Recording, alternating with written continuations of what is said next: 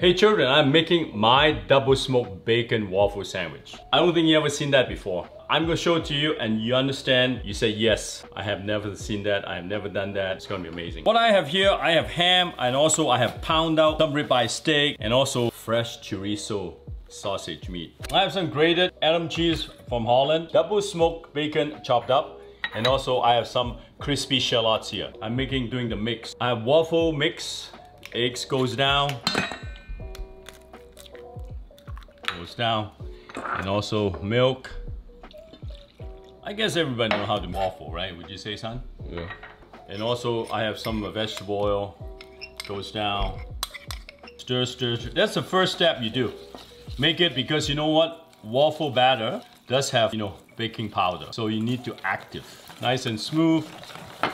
Keep setting on the side. Now I'm starting, I have a hot pan here. Chorizo sausage, you don't need any oil. All you have to do, flip and let it cook, let it cook, let it cook. Because of ham have salt and bacon have salt, all you have to do, it means no salt. No salt, it means you need a little black pepper and that's it. So just don't try to be so creative and put all kinds of stuff in there. Don't do that. So that is done. Get ready. Let the sausage cook. This is really a good, good brunch dish. Some people drink, some people don't. This is also a very good like, hey, I need some really power protein. I need salt. Uh, or else you feel like, you know, after a workout, I need some meat, I'm craving for protein. This is a very good dish for that. So after you sear, sear, sear, let it, just let it cook. Flip. Nice. Slap a little bacon. Ah, slap a little bit of, uh, little bit of butter. Slice, slice. Spread out some uh, butter. Hands down. Slap it in. Ooh. Whoa, whoa, whoa. Don't miss, don't miss a thing. Sausage is done. Take it out. Place it over here. Get ready. Meanwhile, I'm heating another pan. You see, when I cook the steak, this is a kind of thin steak. I don't want to overcook it. You see the nicely, you know, the flavor from the uh, the chorizo, a little bit smokiness, and this is done.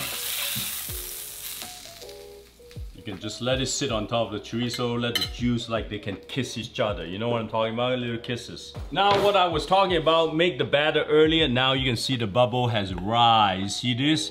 The active from yeast and also baking powder.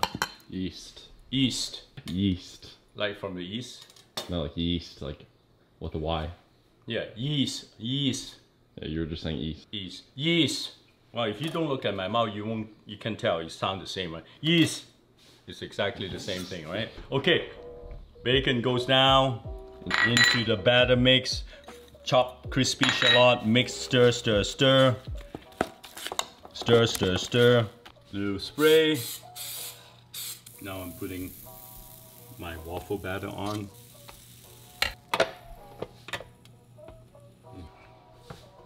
Mm. Really smell the onion and the bacon. Mm. Right? Very nice. Trim it up. Edam cheese in the bottom. Ham, two layer. Cheese again. Steak and then chorizo. And cheese. Sandwich. I have some classic tomato sauce. I have beer.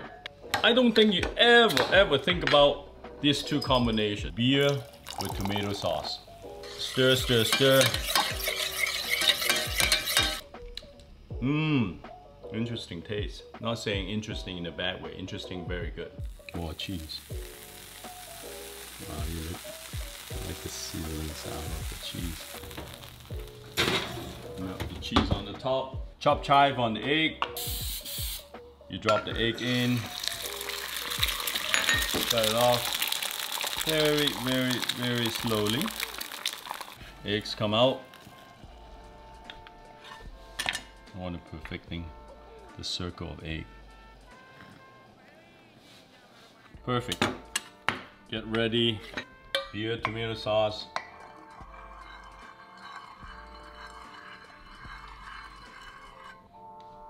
Sandwich down.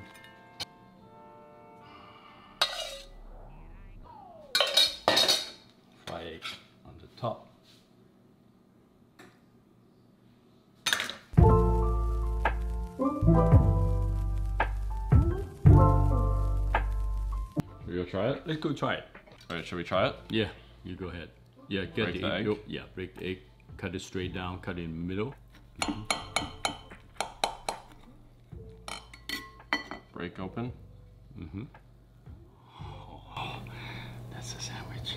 Eat it with my hands or not with my hands? Uh, yeah, I think you should eat it with your uh, uh, with a knife and fork. I think you can Because dip the sauce. Not, it's not a sandwich technically anymore. Well, you know, the idea is a sandwich. It, it, it Two pieces of bread, right? yeah, but sauce, sauce with the sauce. shine. Yeah, but did they see the the goodness inside in between the cheese? Looks like a perfect pattern. Mm-hmm. I'm gonna use my hand. Chef hands is always clean, they say. hmm It's missing maple syrup, right? Oh wow. Tomato. Oh wait a second.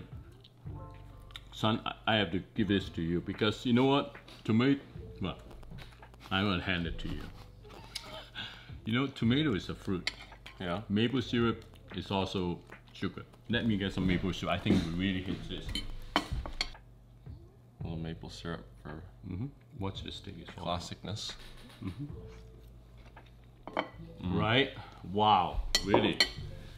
Really like how you can taste the waffles. Yeah. Has Because the of shallots in it. Bacon too, right? The uh-huh. savor. Because don't forget, I think the waffle they also have some vanilla flavor in there, mm-hmm. right? So you know, with with everything, with vanilla, bacon, and shallot. What would you say is the best part? When you hit the steak with the cheese and the tomato sauce, the beer tomato sauce, I think that really sums it up the meatiness. But you know the salt. I'm so glad I hold back to the salt because it was just perfectly salty with the mm-hmm. bacon and also with the sausage. I didn't put any salt in there, so it was a good judgment. You so do the outro, notification bell. I'm not gonna try to help you at all. Just whatever you say, I'm just gonna leave it. Notification bell. If you like this video, say you like it, hit the button, noti- notification bell, um, and subscribe. Yes, there you go.